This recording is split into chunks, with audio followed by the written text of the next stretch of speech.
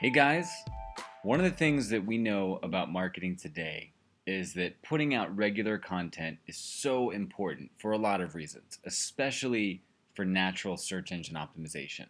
So you're looking at our blog right now, and if you follow Juicy Results, you know that we create a lot of content between these Juicy Bits videos and our blog content, and now the new Customer Machine podcast.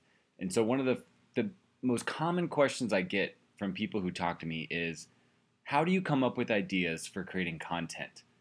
Or otherwise, what should I write about? This is the hardest thing. If you're not used to creating content, sitting down and looking at a blank piece of paper or a blank Word document can be the most intimidating thing. And so, if you've been watching these videos, you know that I talk about always understanding what you want to rank for before you begin creating your content. So, in other words, you need to define the keywords that you want to rank for, and then you create content around those topics. Okay, so in today's video, I want to share a quick tip with you that I've used many times for us at Juicy Results and for our clients to brainstorm topics to write about. So here's what I do I pop over to Google and I type in the keyword that I want to rank for. So I'm writing a piece of content, writing a blog post. What is it that I hope to to ultimately increase my search engine rankings for? Or what is it that I want to be writing about, right? Just a subject in general. Even if you're not doing this for SEO, you probably know that you want to do this to rank for, you know, something about sales training or about architecture or whatever it is, okay? And so I'm going to say that this hypothetical client wants to rank for um, CRM training. So I might be a little bit more specific and type, type in something like CRM training. And now when I type that, I get all kinds of suggestions. Okay. Now I'm going to type in CRM training guide because adding guide to anything is, is a great way to rank for something. Something I've learned. Um, so I come back. So what I'm looking for is a great title. So I type in a keyword and then I look at the titles that other people have written. All right. Now I'm not going the way that you think I'm going to go with this. So there's a little trick to this, okay? So I'm looking for a title and boom, okay. Ultimate Guide to CRM Training Part 1. I love it. Uh, ooh, CRM user training. Great training leads to user adoption. Now, is that something that I agree with? Is that, you know, something that I say?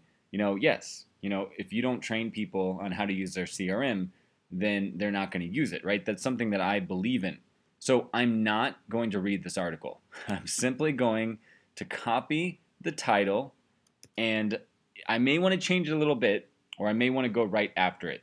But now I've got two great articles, Ultimate Guide to CRM Training and, you know, something about CRM user training that, you know, without training you're not going to have user adoption. These are two ideas. I've actually got two working titles. I'm going to copy those.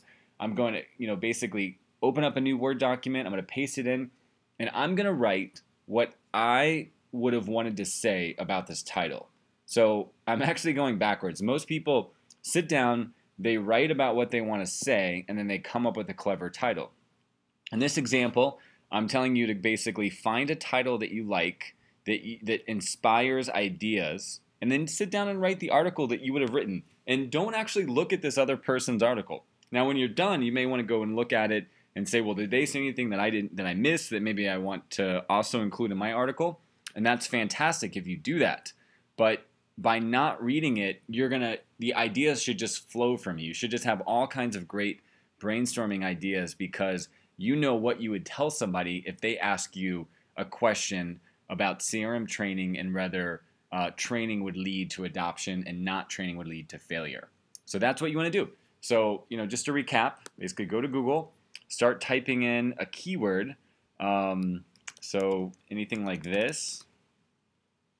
And basically you're going to get all kinds of ideas and you're going to just steal something and then you're basically going to find a title you mm-hmm. like and without reading the article you're going to basically write what you would say for that article. It's a great way to come up with content. I've used it many times and uh, it's way better than starting from scratch and just staring at a blank piece of paper. So I hope that's helpful. And at the end of the day, if you're not creating content, then you're going to have a really hard time with internet marketing.